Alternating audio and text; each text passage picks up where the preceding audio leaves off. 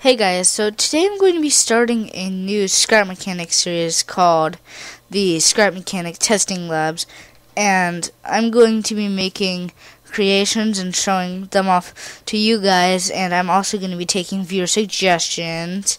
I'll try to get as many suggestions as I can, but I won't be able to get all of them, but I'll try and get the most popular ones in the comment section.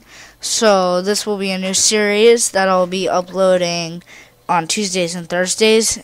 And um, no hate though, please, because I'm new to YouTube, so I'm kind of new to this. But yeah, so I'll be starting this new series, and I'll upload regularly on Tuesdays, Tuesdays and 30 Thursdays, um, in Western time. So yeah.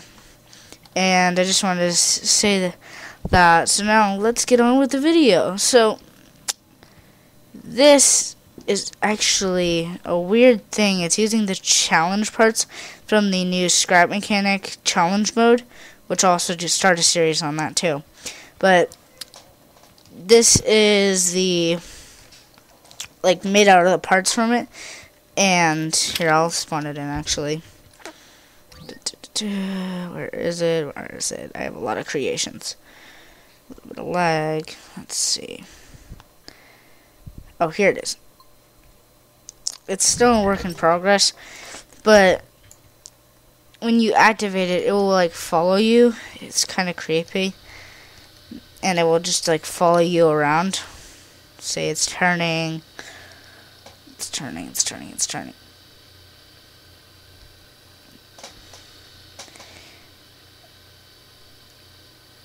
then it will start to like keep chasing towards you and it's kind of creepy. I won't even lie. Then if you activate a different part of it, well actually, so you see this is this is pretty cool I guess.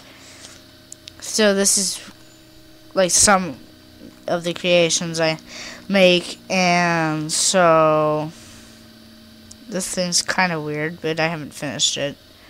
This is my testing area where I build all my stuff and start to test it. So let me just go up there real quick.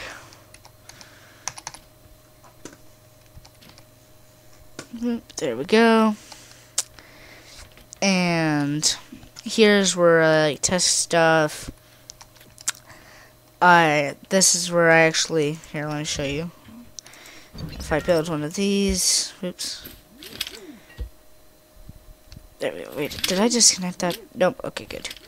Anyways, uh, as you can see, if I just place this here. There we go. It's like this kind of robot thing, I guess, that kind of follows you around. It'll also try to push you. It's kind of weird. And here's a giant platform that goes up. Here is the test bot because he'll follow you around. I didn't actually make him. He's just an interactive part, but he's still pretty cool. Check out um, Durf because he does really cool mods stuff like that because those are parts from the challenge mode which is what all this floor is made of and so he's a, he's a really cool YouTuber and you should check him out so yeah that's almost that's about it see you guys in the next episode bye